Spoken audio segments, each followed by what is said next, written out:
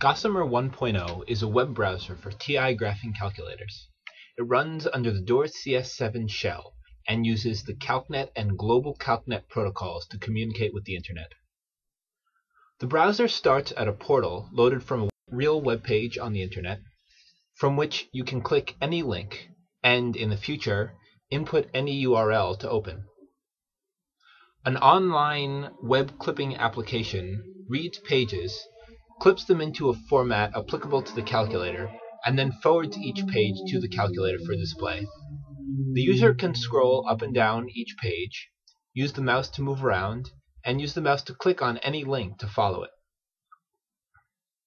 Data is transferred to the calculator in two pieces.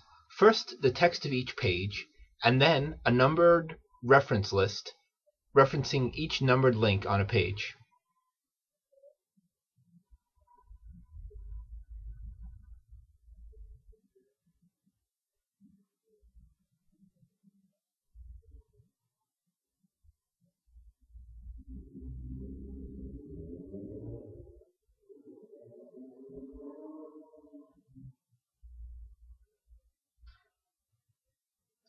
Gossamer is capable of using either full web pages clipped to the appropriate format or mobile web pages for which it is able to produce better clipped copies.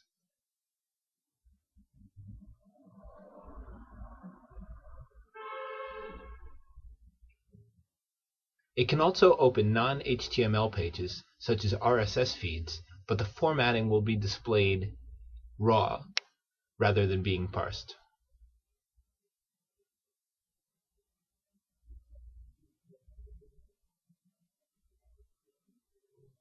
For more information, visit cemete.ch slash pr37 or go to www.cemetech.net.